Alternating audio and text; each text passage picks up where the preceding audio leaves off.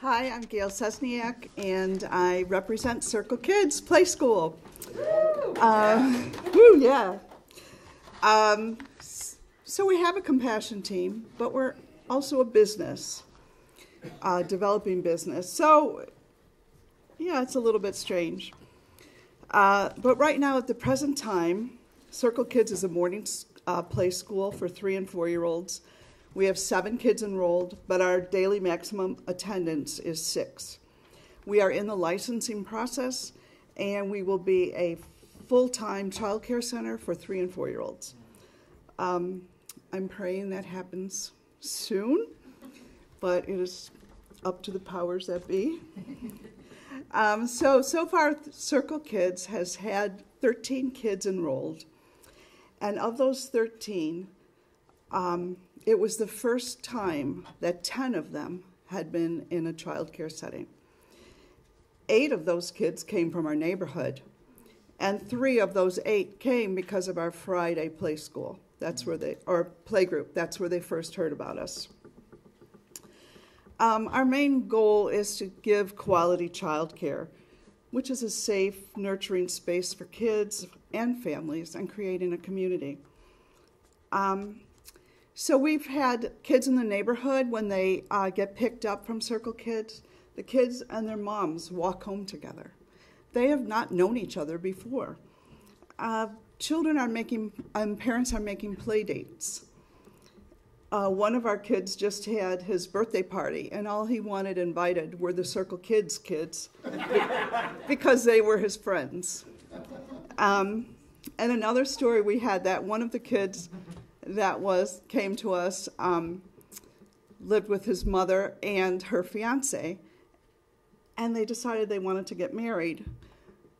So, because of being with Circle Kids, they got to meet Rachel, and they asked Rachel if she would perform their ceremony. So, she did the premarital counseling and married them last fall. So, that was a great connection. Um, as being with Circle Kids, I'm also a part of the Good Business Oversight Team, and they are a great support and resource, and also uh, a, a, part of accountability. I submit monthly reports to them. Um, I also we have the Circle Kids Compassion Team, and uh, we've just kind of revamped because we are in the licensing process.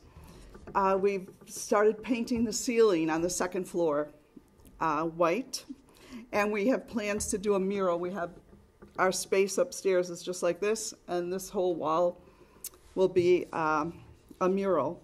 We have someone rehabbing some of our toys, uh, our kitchen equipment toys, and we're gathering toys and supplies. And we have to plan room layouts for about 20 kids following the DHS and the health department regulations. Our team is also trying to figure out affordable tuition while um, paying a living wage for our staff. Um, and considering, is this possible? We think it is. We don't have it worked out yet.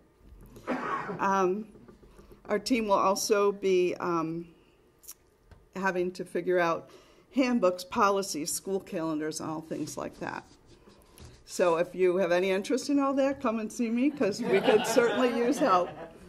Um, so, just a story about some of the things that happens with this group of wonderful, creative children is about two weeks ago. Um, they decided they wanted to do a puppet show. And what was so interesting is that it wasn't about the story or the happenings of the um, what the characters were going to do. It was about the technical things. So they got kind of set up, and then they realized, oh, we need food for the help. So they went to the play kitchen and gathered a whole tray full of play food. And I was just the audience, so I was not allowed to eat the food that was for the workers. so then they're getting ready and they decide, oh my gosh, we have to record this. So they went over and got Tinker Toys, and each of them built their own video recorder. And while they were doing the puppet play, they recorded it. So after the puppet play was over, they took their video recorders and went and sat in front of a blank wall and they watched the movie on the blank wall and did some editing. So they went back and they repeated this whole process. This went on for like 45 minutes.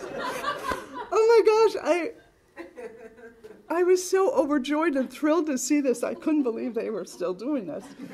And it was just awesome. Um, last week, uh, we read a book about the um, Milky Way galaxy and our solar system. And the kids started the discussion of why Pluto is no longer a planet. I, I had no idea Pluto was no longer a planet. I just know that all. So we got into an elliptical orbit and uh, how it, yeah, things like that. And this was, a, I had to go Google it.